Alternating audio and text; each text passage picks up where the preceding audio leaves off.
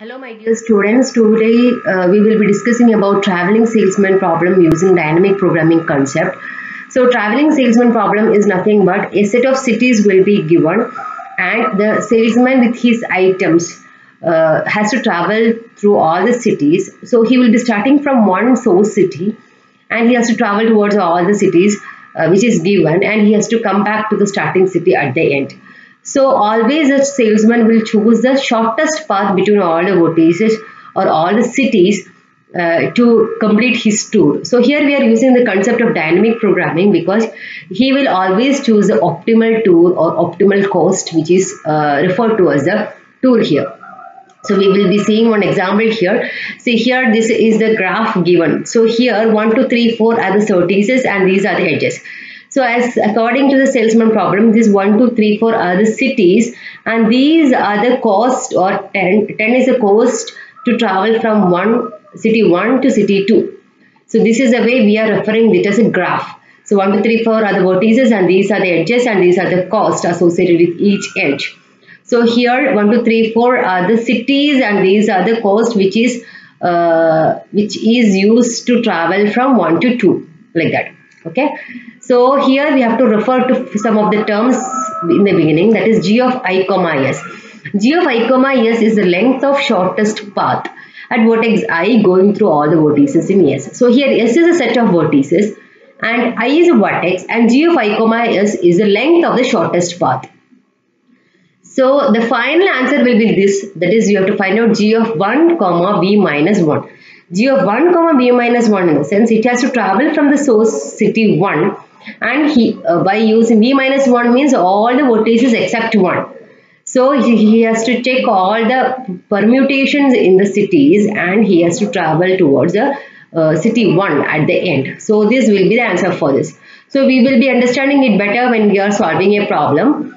Uh, these are the formulas associated with all these things. That is g of 1 comma v minus i is b minus 1 is equal to minimum of k will be like from 2 to n which are the how many vertices are there? So if the vertices is 4 the k will be well like 2 to 4 c of 1 comma k that is first we will be taking one vertex then we will take two vertices then we will take three vertices like that we will be taking the combinations. So the uh, logic is here we will start with the city 1 then we will check which is the shortest city nearby. So we will be traveling towards there. So if 2 is traveling city we will be uh, I mean shortest city shortest distance city we will travel towards 2 then we will check which is the remaining combinations where I can go back to city 1 with the minimum cost. So we will take all the permutations and combinations in this and we will find out the values in this. So uh, the first value you have to find out is g of 1 i comma 5 i comma 5 in the sense we are not taking any vertices here. We are directly taking the path. So here first we will find c of 1 2 c of uh, 3 uh, c of 1 2 c of 1 3 c of 1 4 like that it will find out. That means it will shortest city nearby. It will be able to find out. This is an example. So this is a distance matrix so 100% sure we will be able to know how many cities are there in from this adjacency matrix. There are four cities. So 1 2 3 4 1 2 3 4 adjacent matrix is given and these are the cost associated with each edges now we will move on to the first one so uh, this this is a distance matrix we have to find out g of 2 comma 5 3 comma 5 g of 4 comma 5 that means we are finding out C21, C31 and C41. That means the cost to travel from 1 to 2, 1 to 3 and 1 to 4. So C of 2, 1. What is C of 2, 1? This is 2. 2, 1. The cost is 1. So we are getting here 1. Now here we will get C of 3, 1. What is C of 3, 1? 15. C of 4, 1. 6. We will be finding out all the values in this. Now moving on to the next step. Next step what we will do is we will we will take the set of only one element that is the set of only one vertices so set 2 which are the remaining vertices other than 1 2 3 4 that's what we have we have written here 2 3 4 which are the remaining sets so we are taking only one city at a time in that we will be find out g of which are the vertices other than 2 here? 3 and 4 so we will be taking 3 and 4 so 3 comma 2 4 comma 2 and how to find out this value? This is already given in this uh, one. How to find out the value? G of i comma s is equal to minimum of you have to find out c of i j plus g of j comma s minus j. This is a formula that we have applied here see here c of 3 2 plus g of 2 comma 5 so c of 3 2 we know what is c of 3 2 3 2 that is 7 7 plus c of g of 2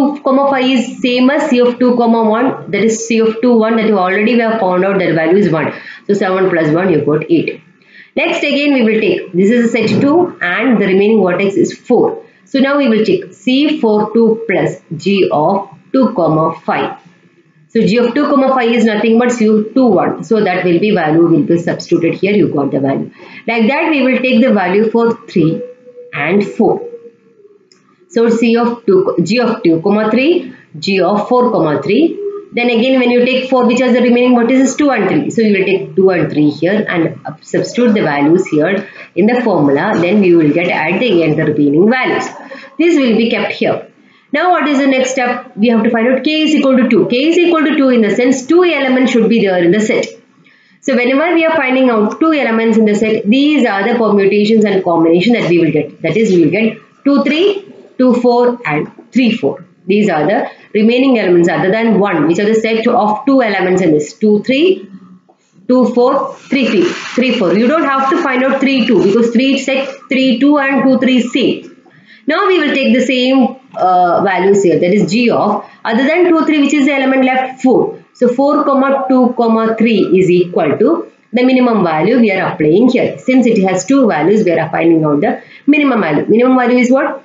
C42 that is to travel from fourth vertex to second vertex what is the cost plus G of 2 comma 3 comma next we will check what is the value to travel from fourth vertex to third vertex? That is C43 plus G of 3 comma 2 what is the minimum value among these two value? That is 20 that you got. Next again the next set. So other than 2 and 4 what is the value? 3 so 3 comma 2 comma 4 is equal to minimum of to travel from 3 to 2 and to travel from 3 to 4 we are finding out the values here. So these two values will be substituted and the minimum value you will get as 12. Like that you will find out 3 comma 4. Next step is k is equal to 3 value. So when k is equal to 3 value since it has 4 vertices we will be getting only one uh, value to find out that g of 1 comma 2 3 4. Then in this we will find out all the minimum value that is C12 C13, C14 like that all the minimum values you will find out and you will get the value 21. Now so the minimum cost or optimal tour for this one is 21. Now we have to find out what is the path. So in order to find out g of 2 comma 5 what is the minimum value in this the minimum value C21 that means it will be traveling from the second vertex to the uh, from first vertex so T, C21 next in this step, you will be finding out which is the minimum value in this g of 4 comma 2. That means from 2, it is traveling to 4. So, that is the return, world value which is returned here. Next, from 2, where you have to go. So, in this, the minimum value is what? 12. That is g of 3 comma 2 comma 4. So, to the towards the third vertex, it will go first. Next then it will be going to the first vertex. So what is the cost? All these values minimum cost will be added. That means from 1 to 2 it will travel, 2 to 4 it will travel, then sorry 1 to 2 it will travel, 2 to 4 it will travel, 4 to 3 it will travel and 3 to 1 it will travel. So this is the path. So you have to do with the different examples. So these are the steps which is associated with this that is already I have discussed by using an example. So this is the way you have to find out the uh, traveling salesman problem that is optimal to Uh, you try out with the different examples and uh, try to solve it by using paper and pen so that you will be able to understand it better. So if you have any doubts, you can ask uh, me directly. Uh, um, so try out with new, new examples if I get time means I will be uploading the remaining examples, few examples related to the traveling salesman problem. So uh, that's all for today. See you in the next video. Thank you.